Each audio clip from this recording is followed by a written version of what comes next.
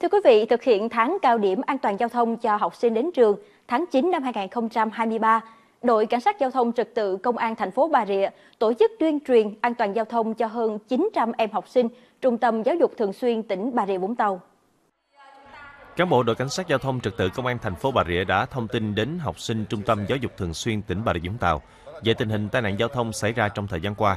hậu quả hệ lụy do tai nạn giao thông gây ra,